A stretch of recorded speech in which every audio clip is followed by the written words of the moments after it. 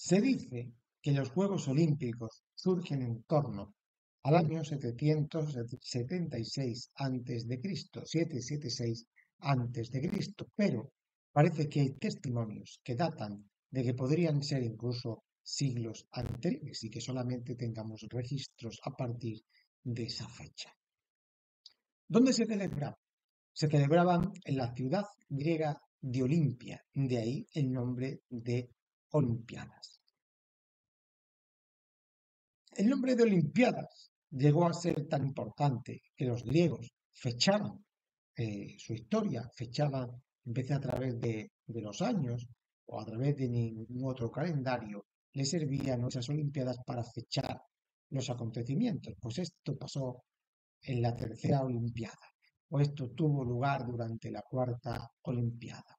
Por tanto, vemos que era un acontecimiento enorme para el mundo griego. Las Olimpiadas eran un evento panhelénico, que significa todos helénicos, los helenos, los griegos, ¿no? Y reunía a todas esas polis o ciudades-estado, fomentando un sentimiento de unidad y orgullo cultural compartido.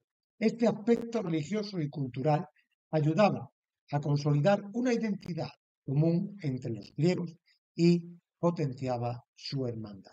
Si había guerra entre las polis griegas, se declaraba una tregua sagrada para que el conflicto parase durante ese tiempo que duraba la Olimpiada, que solían ser seis días más o menos entre julio y agosto.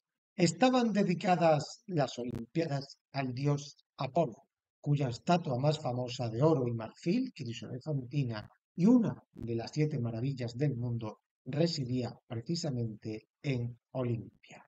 Los juegos fueron evolucionando con el tiempo, ¿sí? De las simples carreras llamadas stadium, pues se llegó luego a una cantidad de disciplinas que superaban las 20, ¿no? Con, con el devenir de los eh, más de ocho siglos que duraron las Olimpiadas.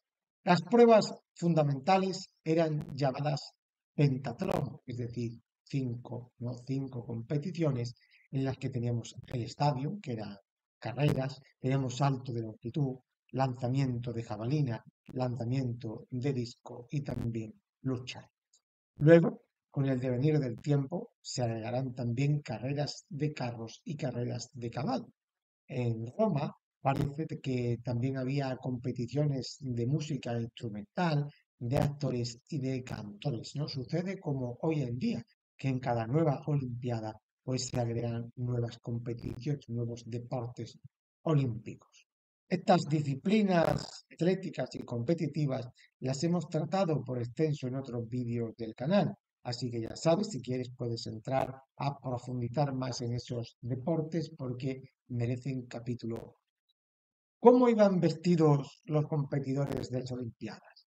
Pues al principio parecen que iban vestidos de taparrabos, con solamente solamente llevando un taparrabo en sus partes prudendas, pero posteriormente empiezan a competir desnudos. Hay muchas teorías que hablan sobre el porqué de, la desnudez, desde la pureza hasta también para evitar que las mujeres participaran o para evitar que las mujeres eh, asistieran.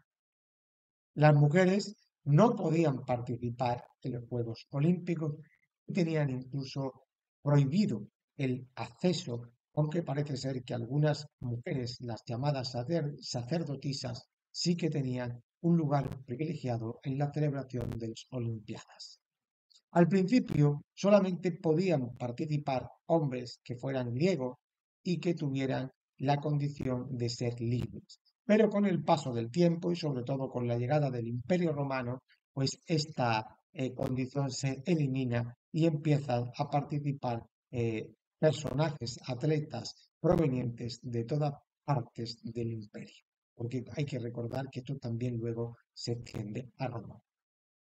Los participantes eran elegidos por los elanómicas, que eran los jueces que se dedicaban muy honrosamente a seleccionar a, los atletas y que eh, administraban la justicia en los, juegos, en los juegos y tenían un cargo muy, muy representativo. Como hemos dicho anteriormente, los juegos duraban seis días, parece que al principio cinco, pero pudieron ser seis, y vamos a ver en sí cómo eran esas seis jornadas, en qué consistían esas seis jornadas. El primer día, la primera jornada, era la jornada inaugural, en la que se realizaban una especie de, ceremonias dedicadas pues al dios eh, Apolo. En esas ceremonias pues se mm, hacían sacrificios y eh, juramentos, sobre todo destacaban los juramentos en los que los atletas pues eh, juraban allí el ser fieles a las reglas y cumplir el reglamento.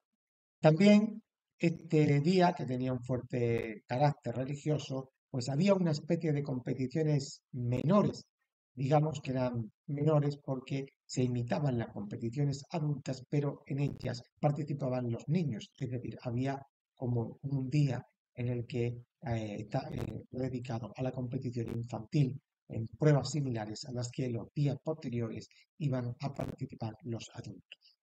El segundo día tendrían lugar las carreras seguramente las luchas. El tercer día había sacrificios a Zeus y carreras con armamentos, las famosas carreras de los hoplitas.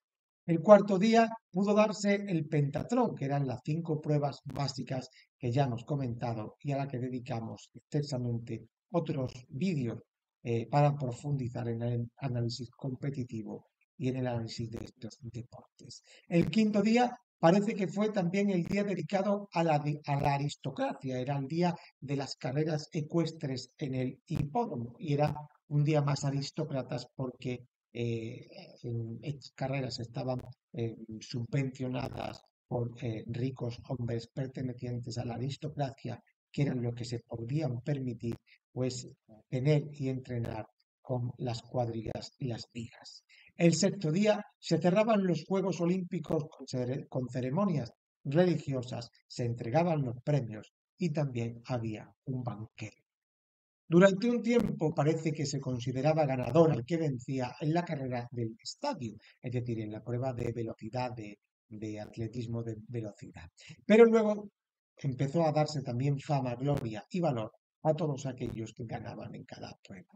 Los vencedores pues eran coronados con una especie de rama de olivo.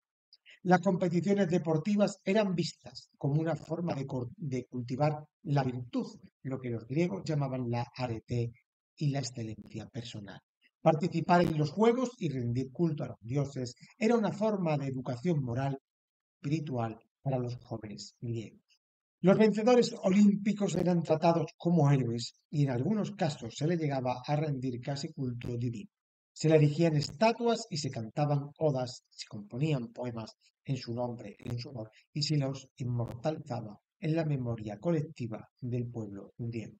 Como curiosidad, podemos decir que el vencedor de los primeros Juegos fue un tal Corebo de Élide.